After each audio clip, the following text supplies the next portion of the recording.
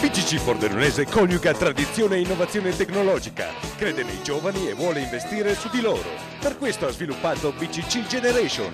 I giovani che scelgono il conto BCC Generation sono pronti, attenti e vincenti, perché scelgono una banca che li mette sempre al primo posto.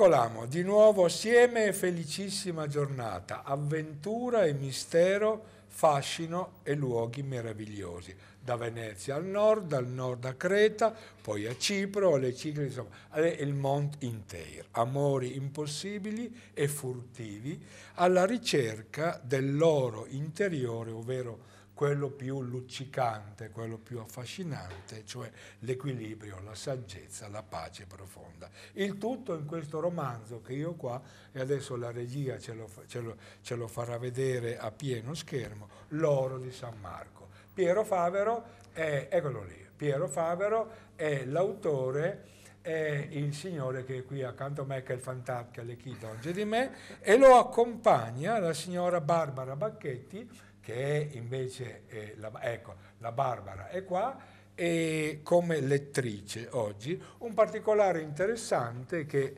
per chi ci segue, chi ci ascolta potrà generare un consenso immediato, Barbara è la moglie di Piero e Piero è il marito della Barbara. Grazie, bene arrivati. Ascoltami Piero. Allora, l'oro di San Marco, chi è il protagonista e, e soprattutto in quale epoca incomincia il fascino, il mistero. Dai. Il protagonista è un popolano veneziano, un mosaicista e quindi eh, un personaggio che ha delle abilità personali, eh, direi quasi artistiche. Ehm, all'epoca eh, i popolani eh, avevano queste possibilità per esprimersi e eh, lui è un artigiano, un mosaicista proprio della Basilica d'Oro, eh. eh. cioè della Basilica di San Marco. Sì. E eh, da lì nasce eh, la storia. Qui vediamo un mosaico di grande bellezza in realtà, da tutto il mondo, dal Giappone, dall'America, vengono a visitare Venezia. Spesso noi abbiamo dei tesori sotto gli occhi e non ce ne accorgiamo. Non ce ne accorgiamo. Basta entrare sì, dall'ingresso sì, principale, subito alla sinistra c'è la cupola di Giuseppe. È la storia che noi troviamo nella Bibbia di Giuseppe ed è, si può dire, il primo romanzo dell'umanità, questa vicenda mm. di Giuseppe. Beh, bello, anche questa è, è, interessante, è una novità. Grazie, allora abbiamo, abbiamo iniziato, abbiamo esordito l'oro di San Marco, Piero Favero avremo eh, occasione e circostanze di vederlo più volte nel corso della puntata. Andiamo a sentire la voce di Barbara con eh, oggi la Barbara bionda, affascinante lettrice, con il, il primo passo. Barbara. Non appena imbocco l'inizio della stretta e lunga calle spadaria, ecco sullo sfondo uno spicchio della basilica, una stretta fascia verticale adorna di medaglioni scolpiti. Salgo i gradini che sopraelevano la piazzetta dei Leoncini e faccio una breve sosta, seduto sul bordo del pozzo a osservare la basilica d'oro. È uno spettacolo che toglie il respiro. Le mura massicce, interrotte dalla magia colorata di piccole vetrate al centro degli archi, sono sorte sulla reliquia del corpo di San Marco, trafugato ad Alessandria d'Egitto, da due mercanti veneziani. Per scongiurarne il furto, la reliquia è stata nascosta nella basilica, in luogo segretissimo, talmente segreto che adesso nessuno sa più dove sia. Ecco, allora ritorniamo a Piero. Sì. A che punto siamo? siamo? Siamo della- nel 1250, in pieno medio- Medioevo, ed è l'epoca di Federico II di Svevia, imperatore del Sacro Romano Impero, e quindi una figura eccezionale per cultura, anche a Palermo aveva scuola radunato siciliana, sì, veramente una corte eccellente. Sì, sì. E eh, il 1250 è proprio l'anno della morte di Federico II e Federico II viveva nel mito della fine dei tempi e quindi questo avvenimento, la morte di Federico II, sarà un qualcosa che scuote profondamente il protagonista perché eh, c'era un significato quasi escatologico, cioè di destino dell'umanità, eh, la fine eh, di, questo, di questo regno di Federico II, di questo impero. Perfetto, perfetto, perfetto. Io ero eh, eh, coinvolto nella narrazione. Come si chiama il nome di questo ragazzo, di questo eh, eh, esperto de- de- eh, mosaicista, insomma, dell'arte musiva? Dunque lui si chiama Petrangesio Ecco, ed è come dicevamo un popolano che abita a Venezia. e parte, e parte. E un altro personaggio Sì. importante è un greco. Sì. Si incontreranno fatalità in prigione e nei pozzi, eh, che erano eh, le prigioni praticamente sotto il livello dell'acqua Sì. e quindi a rischio anche alle volte di essere inondate. Per questo motivo le, chiamavano, le chiamavano i pozzi. I Questi pozzi. sono i due personaggi principali. Da- dal greco eh, questo mosaicista imparerà molte cose su- sulla cultura, sulla tradizione, sulle divinità dell'antica Grecia. perfetto. Andremo avanti nella narrazione perché avendo io scorso e insomma è uno un po' intra- intraprendente, è giovane, alla Vinciani il fantastico. 28 anni. 28 per cui è, è un tipo fu- furbetto, lesto, eh, ci sa Sì, fare. no, non è cattivo, però, no, insomma, ci non sa fare lo stinco di perché è, è organi- è organizzato sicuramente, insomma, ma la vita è questa, se non fosse così che emozioni ci sarebbero. Grazie, allora adesso ti pongo ancora una domanda, entriamo in una, con una parola che già di per sé contiene dei misteri, l'alchimia. Alchimia, eh, di che cosa si tratta? Poi vediamo una foto e poi sentiamo la Barbara. Dai. Beh, già nel titolo c'è l'oro. Eccolo là. Quindi per il personaggio è un miraggio la fabbricazione dell'oro. L'idea che si ha in genere degli alchimisti è come dei personaggi che eh, rincorrevano delle chimere, dei sogni Sì. realizzabili. In realtà la trasformazione eh, del piombo di un metallo in oro è stata ottenuta in laboratorio ai primi di Novecento, quindi è incredibile, però eh, gli alchimisti erano in realtà dei pionieri, dei precursori. Senza l'alchimia non ci sarebbero state poi la chimica moderna e la fisica moderna e addirittura mh, certi concetti, la polarità, eh, il sole, la luna, che però sono espressioni di, di un'unica cosa, eh, troviamo sotto forma diversa anche ne- nella fisica moderna. Per esempio un elettrone è un'entità, però è sia puntiforme sia è un'onda, quindi due aspetti che apparentemente sono contraddittori uno Sì. con l'altro, che però in realtà si armonizzano. Si armonizzano. Quindi questa idea di, di armonia,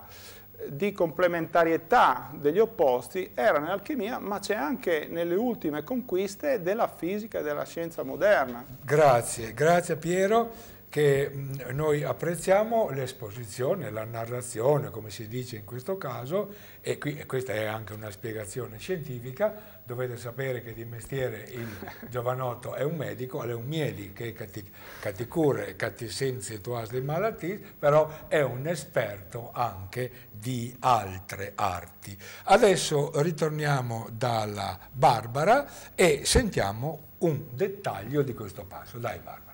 Perché non mi accontento Ecco. dell'onesto, di quel po' di positivo che ho costruito nella mia vita? Sì, Sì, d'accordo. Sono stimato e rispettato all'interno della mia corporazione e il salario di artigiano addetto ai mosaici è sicuramente superiore a quello di un semplice manovale. ma non posso certo affermare eh. di nuotare nell'oro. L'alchimia invece mi permetterà di raggiungere possibilità economiche superiori a quelle di un agiato nobiluomo. In effetti, ragioniamo seriamente. Per un artigiano esiste forse alcun mezzo lecito eh per ottenere la bellissima, ricchezza. Bellissima, questo interrogativo. Regia, ci fai vedere, eccola là, oh io ci Ecco, questa è l'alchimia, eh, noi vediamo appunto eh, l'idea degli opposti, eh. il Sole e la Luna, che però eh, nell'alchimia non sono altro che due aspetti di una stessa cosa, di una eh. cosa doppia, come fosse una medaglia con due facce. E questo è un concetto che, come dicevo prima, è attualmente moderno, profondo. Sì e, e, e il gallo che, che, è là sotto, e il gallo così è lì per osservare il mondo, il panorama o ha un significato? Ma eh, diciamo nell'alchimia non c'era mai niente di, di casuale ecco, in queste raffigurazioni, probabilmente, probabilmente aveva a che fare eh, con qualche metallo, era un riferimento perfetto, ad un metallo. Perfetto, perfetto. Grazie. Allora, L'oro di San Marco, romanzo saggio che parte da Venezia, arriva in Friuli, arriva al nord, e dopo in Grecia, nel mare, e le Cicladi e, le, e Creta, Corfù, una roba strepitosa, meravigliosa, l'autore è il signore che è qui accanto a me, vedete il nome scritto là in alto, Piero Favero, e la Barbara, che è la signora qui accanto, oggi come lettrice e la moglie, sono marito e moglie, ovviamente. Allora, eh, eh, esordendo, eh, io mi mm, riferì avventura, mistero, fascino. C'è più mistero o avventura? Eh, Ma c'è l'uno e l'altro. Ecco, eh, diciamo, eh, I lettori sono sempre attirati dal mistero, come per esempio nei, nei, nei, nei gialli c'è eh, una lettura vincente perché si vuole scoprire sì. chi è l'assassino, sì. quindi il mistero è sempre un qualcosa che lega, che eh, interessa. E in più c'è l'avventura, anche questo è un tema che eh, attraverso una lettura piacevole, divertente, eh, introduce verso ambienti, verso eh, situazioni eh, che eh, hanno a che fare un po' con eh, la cultura nostra più antica, perché eh, il protagonista andrà in Grecia, eh, appunto a Creta, eh, già sappiamo che l'ambiente è un qualcosa di, di, di eccezionale, ci sono luogo degli cer certe, luogo degli certe spiagge che, che, sono fra le più belle al mondo, sicuramente classificate. E l'avventura è dovuta al fatto che questo protagonista è costantemente in fuga. Perché? Perché?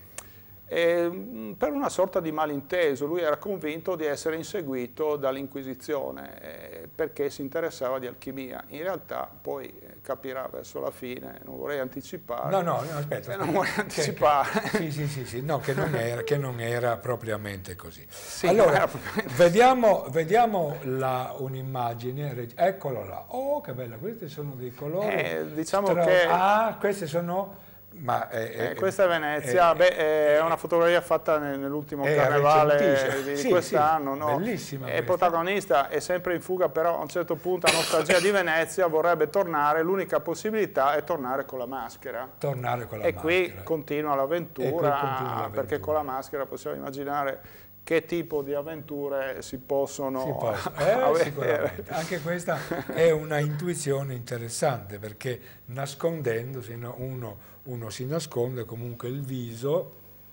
e gli occhi e quindi dice chissà quali risultati e quali... Nel Medioevo le, le, maschere erano molto semplici, erano eh. o bianche oppure con dei veli, de, degli stracci anche colorati. Comunque era sempre, molto semplice, però c'era uno spirito usavano, molto vivo. colori naturali. Usavano sì, colori sì. naturali. Grazie Barbara. Allora andiamo alla terza lettura che è strettamente collegata ai due vocaboli che abbiamo evocato, mistero e avventura. Barbara. Ero bambino e quella maschera, ricordo, mi fece prendere un gran bello spavento. L'avevo scorta nella calle, stava in piedi appoggiata al muro di una casa, giusto davanti al davanzale della finestra. reggeva una maschera a due facce che non mi consentiva di distinguere da quale parte stesse la vera testa. Psst, psst, mi chiamava e con una specie di rebus mi interrogò circa la sua ambiguità. Com'è che da cosa doppia nasce la cosa unica? Disse con voce bitonale, facendo gesto di avvicinarmi. Mamma mia, qui siamo veramente nel, nel, nell'intrico, no?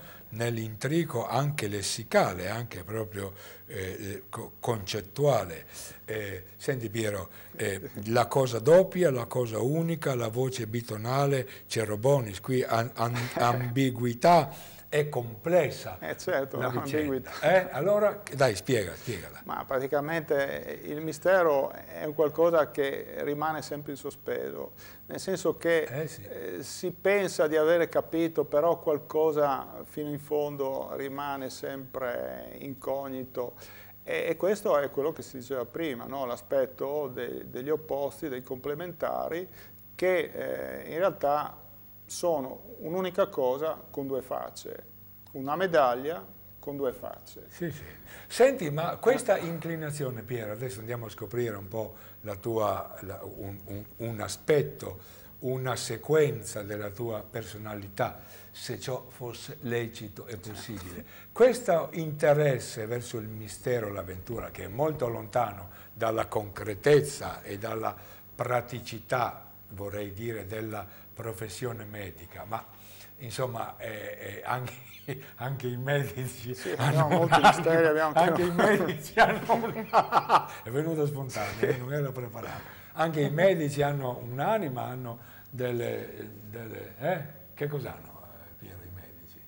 Eh? Cioè, que ma, questa tua inclinazione. Ma i medici esistevano anche sì. nel Medioevo e, eh, certo. e, praticamente nel loro prontuario eh. c'erano anche dei, dei, farmaci derivati no, no, no, dall'alchimia. Te, me, quella volta te io voglio era sapere. normale. non me lo dice Barbara, non me lo dice. È un mistero. È, è un no, mistero. Eh, nel senso che, che misteri ci sono anche sì. nella scienza moderna, Te perché credo. tante cose non Ti si credo. sanno. Ti credo anche a livello di, di, tutte le branche scientifiche, non sì. solo della medicina, sono tantissime cose che non sappiamo, anche nella fisica moderna, nella chimica, ovunque rimane un qualcosa che ancora non, non, conosciamo, non conosciamo, chissà se conosceremo Co mai. Comunque tu sei, tu sei, attratto, sicuramente attratto, perché non è la prima volta che vieni qua e parti da Venezia con le tue narrazioni e ci deve essere qualcosa di segreto Barbara, che parte da Venezia. Allora leggiamo perché abbiamo capito, te hai citato la Grecia, il mare,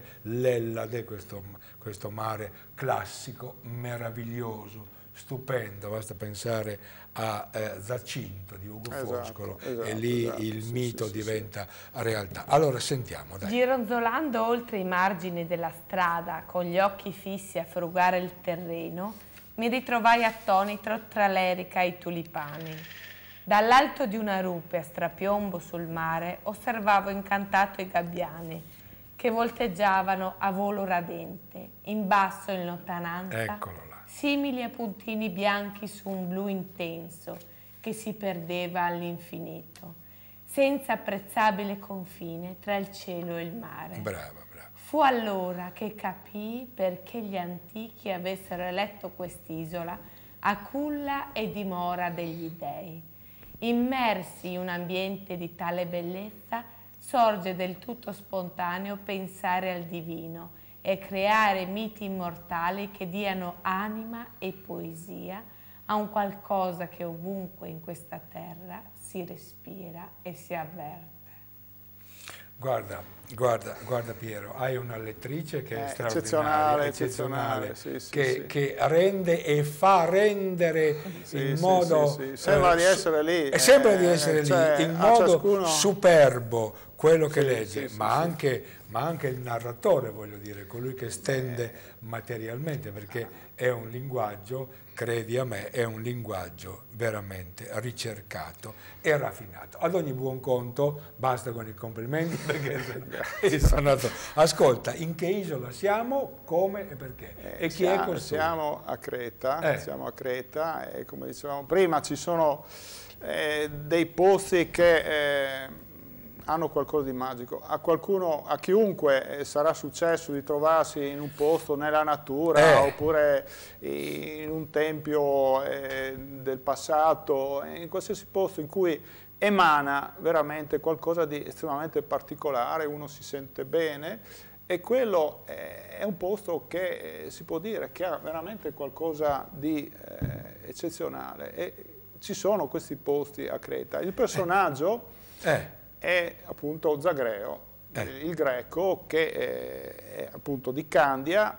Eh, si può vedere la benda nera che era mm, in un certo senso una specie di eh, distintivo eh, dei cretesi, si vestivano di nero e questo personaggio è un personaggio che fa un po' tenerezza perché in realtà lui è un irriducibile, una di quelle persone che sono coerenti e vanno fino in fondo e praticamente a qualsiasi prezzo. no? E, e questa è diciamo, un qualcosa che eh, poi farà una fine non, non- non Bene, bella aspetta, e, insomma, aspetta, eh, e- sì. e questo è un qualcosa che mm, diciamo, fa apprezzare. bene, questo. bene. L'oro di San Marco, romanzo di Pietro Favero, CR, vedo, grafica, questa è la casa editrice, è un libro che si legge, anch'io l'ho letto prima di, di preparare la puntata, l'ho, letto in poco tempo perché il linguaggio è agevole, è scorrevole e scrive bene, scrive bene il dottor Favero e si legge anche appassionandosi. Adesso però dobbiamo scoprire, perché conta per chi la chimica, l'alchimia, è dei giovani, è il mare, le Dubiel, però, eh, ragazzi, ci sono personaggi femminili qua Eh dentro? sì, se no sarebbe triste. Oh, sarebbe- l'amo. Sarebbe Ci sono triste. storie d'amore sul di spiaggia, È un sul romanzo, è un romanzo. eh, è come- pensiamo che Eh. era l'epoca con Federico II dell'amor cortese. Certo, C'erano certo, i, la scuola i poeti della scuola siciliana, Jacopo D'Alentini. eh, E, E quindi, non solo, e non solo. Certamente, per cui eh, c'è una storia d'amore. Impossibile eh, perché eh, era un popolano che diciamo, eh, si era innamorato di una nobile. La principessa. E quindi noi sappiamo che all'epoca Eh. la società era molto rigida Sì, sì, sì, e eh, il protagonista o comunque chi ehm, ave- si azzardava a compiere così eh, questi atti diciamo rischiava come minimo Però- di finire in una galera a remare Però, tutta eh, la è vita popolano sì Questo è questo è Francesco, per richiamare. Eh, per richiamare. Anche se è di un'epoca Eh, sì, sì, sì, successiva eh, perché- mica tanto, eh, mica tanto, perché agli inizi del, del XIV secolo, agli inizi del, del 300, Dante compone, Esatto, redige sì, è la presso poco la cosa. Divina Commedia, quindi la qua, il quinto cosa. canto dell'inferno con quello sventurato di Gianciotto Malatesta esatto. sotto la caletta alle prove Pronto con la spada, arrabbiatissimo, dopo, eccola là, la bufera infernale che viene descritta da Dante, la bufera infernale. Mi stai facendo emozionare perché io ritorno ai Eh, miei sì, studi. Però adesso eh. io emozionerò, io no, la Barbara, il pubblico perché, perché Barbara, lesi, lesi, lesi, dai. Tu sei tutto matto, Eccola. esclama ridendo. Sarà, ma mi avete fatto andare fuori di testa, mormoro fissandola dritto negli occhi. Lei si morde le labbra Eh, e mi scruta con la coda dell'occhio. sì, sì, sì. Per fortuna che non c'è mio marito, altrimenti ti farebbe scorticare vivo. Io ho detto mo. Io vi amo, Ah, accostandomi con la voce carica di emozione. Proprio un bel guaio, annuisce eguagliando il tono della mia voce. Oltre e più dell'amore, io sono una cosa sola con voi.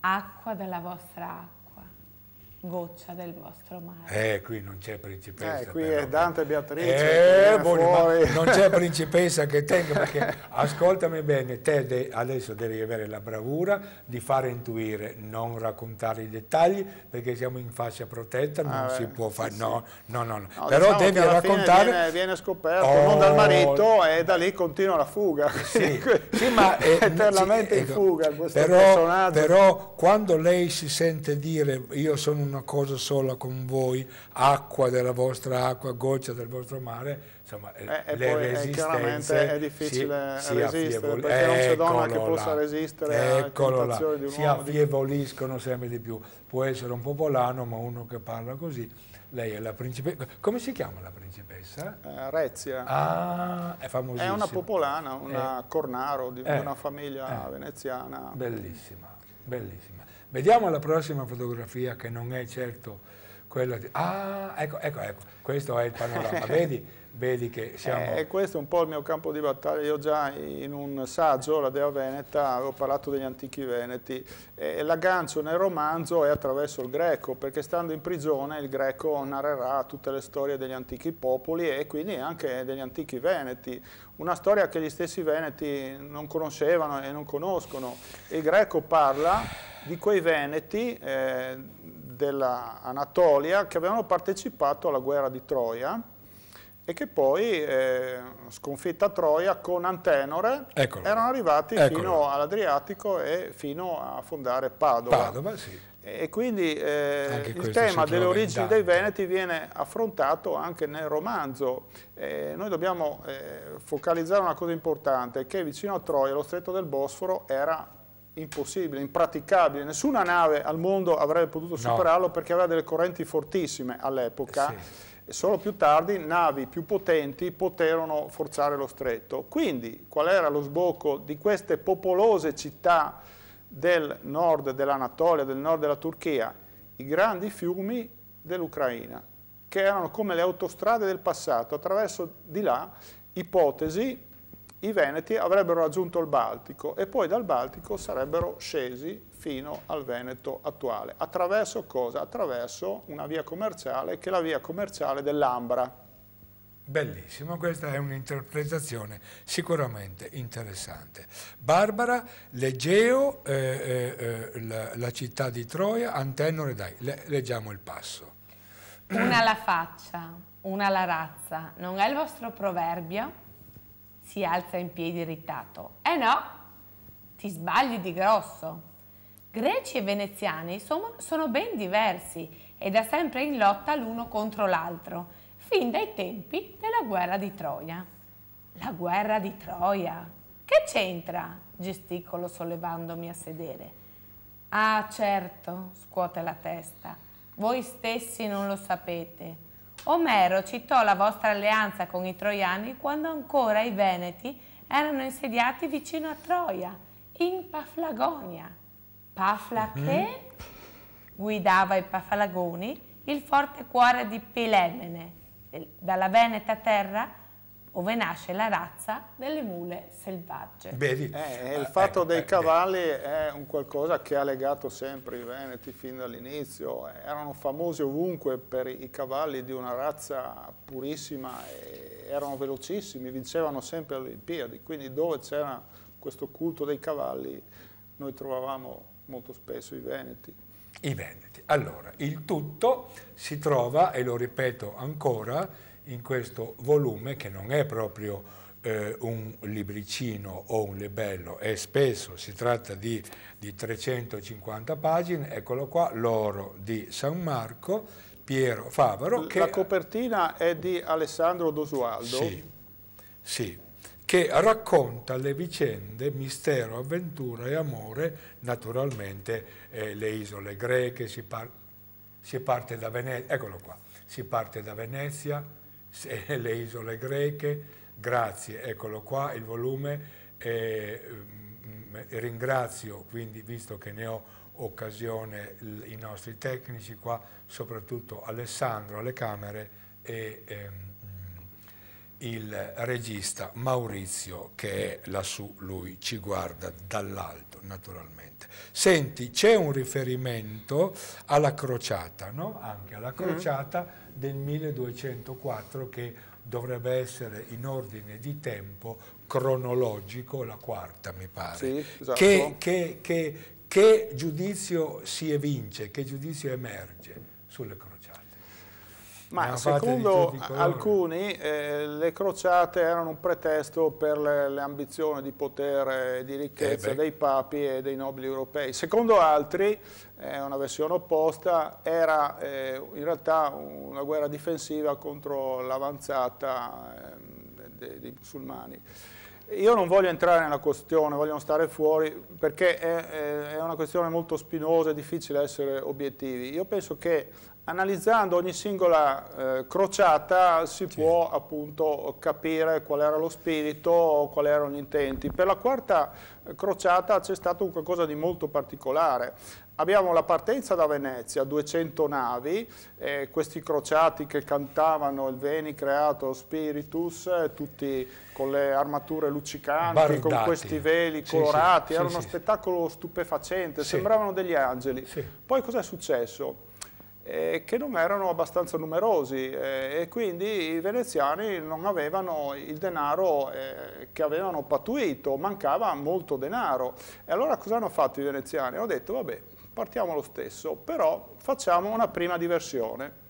Voi crociati dovete andare a Zara e saccheggiarla perché è una città nostra rivale. Venezia era una città-stato, non tollerava la concorrenza di altre città Così venne saccheggiata Zara. Poi, non contenti, questa crociata che doveva arrivare fino in Palestina, in realtà ha fatto una nuova diversione e si è fermata a Bisanzio, che era una città splendida, eh sì, sì, eccezionale, sì, e diciamo, è stata assediata e poi eh, i veneziani sono riusciti a troncare la catena che eh, bloccava l'estuario del, del, canale do, del Corno d'Oro, hanno bruciato ad una ad una le torri e poi il primo a sbarcare a Bisanzio fu il, il doge Enrico Dandolo, ottantenne, cieco, però con la spada in mano, fu il primo a scendere e a conquistare Bisanzio. Ecco, questo è interessante. Sentiamo Barbara, sentiamo allora perché c'è sicuramente un riferimento. Dai. Comincio cautamente col domandargli se ha un'idea di quanto abbagliante fosse lo sfarzo di Bisanzio, la fiera magnificenza dei suoi monumenti, l'aristocratica bellezza dei suoi palazzi, la ricca moltitudine dei negozi e dei magazzini esorbitanti di mercanzie. Non esisteva al mondo città più nobile e raffinata, non un polo di attrazione più fulgido. Ebbene, i vandali a confronto dei cristianissimi crociati avrebbero fatto meno danno. Per tre giorni la popolazione fu martoriata da rapine e violenze di ogni genere. I cittadini a migliaia furono uccisi senza motivo e ai più irriducibili vennero ficcati rospi in gola, una morte orribile. I crociati assalivano i conventi, rincorrevano le monache per i corridoi, strappavano loro le vesti e le violentavano a turno. E, eh, si, si, tratta di espressioni particolarmente crude. Sì, eh, però forti, sono storicamente crude e cruente. Storicamente sono documentate. Sì. Vai, vai, vai. Eh, vai purtroppo sì, è, è, è, è, ricorrente purtroppo nella storia che, che, si parte con grandi ideali, eccetera, e con poi? ideologie e poi eh, queste eh, purtroppo spesso sono eh, le conseguenze che si verificano.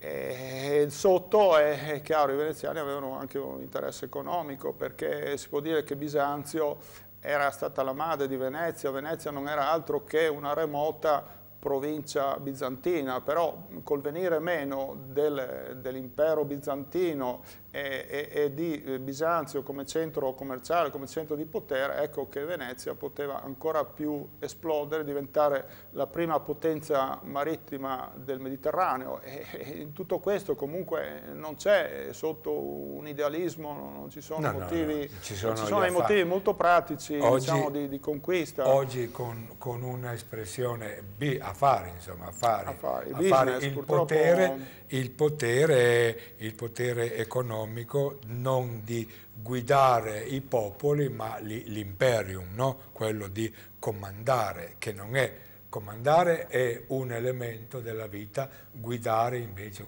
governare invece è tutt'altro. E poi i veneziani, beh insomma, è storia, storia senza voler esprimere valutazioni qui che sarebbero sicuramente frettolose e anche un po' imprecise. Senti, quanto tempo ci hai impiegato te? E dopo ci hai impiegato mesi? Due anni, due anni. Due anni due a raccogliere a sì, far... perché c'è una documentazione eh storica, sì, eh sì, la eh storia è quello che è, non si può cambiare. Eh no, e, e quindi quello che era già documentato io l'ho messo così com'era. Lei. Quindi attraverso una lettura piacevole, divertente, uno si può riappropriare di quella che è la storia veneziana, anche poco conosciuta del Medioevo, che in realtà è, ha un, un ambito vastissimo. Sicuramente, sicuramente, sicuramente e non è vero che fu che furono mille anni all'ingrosso dalla caduta dell'impero romano d'Occidente alla conquista dell'America, presa poco, eh, eh, mille anni di eh, oscurità, tutt'altro, no, sono no, ben vivi era un'epoca molto colorata. Eh, certo, cioè, certo.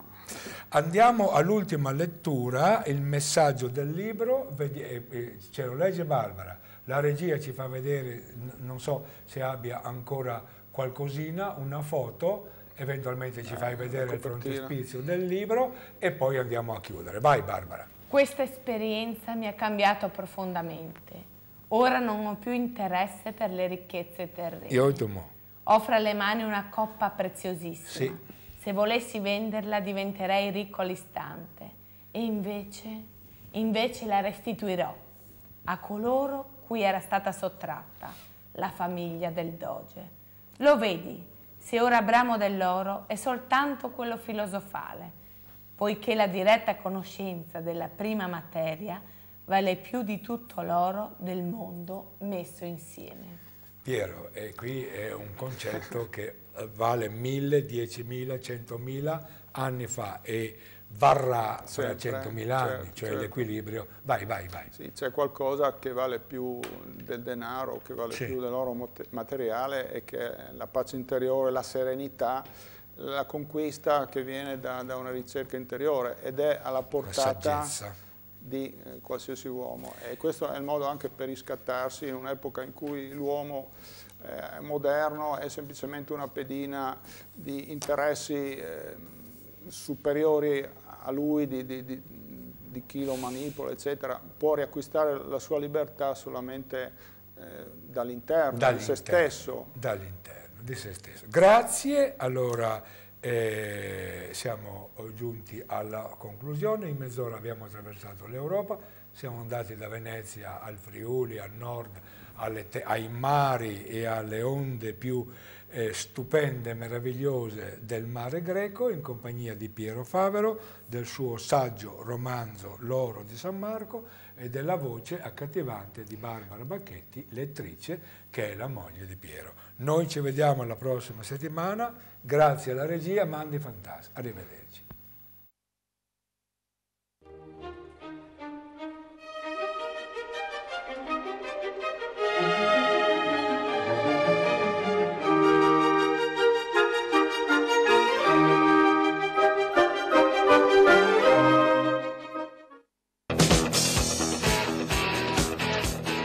Pordenonese coniuga tradizione e innovazione tecnologica, crede nei giovani e vuole investire su di loro.